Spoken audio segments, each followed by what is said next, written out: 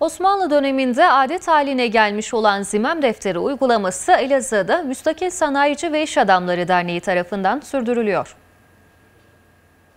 Müstakil Sanayici ve İş Adamları Derneği, Elazığ Şubesi tarafından her yıl gerçekleştirilen Osmanlı zamanında adet haline gelmiş olan zimmem defteri uygulamasını geleneksel hale getirerek yeniden yaygınlaşması için bu Ramazan ayında da çalışma başlattı. Müsiyat Elazığ Şubesi tarafından Elazığ'da çeşitli mahallelerde bulunan bakkallardan veresiye defteri satın alınarak dar gelirli ailelerin borçlarını silip zimmem defteri uygulamasını sürdürdü.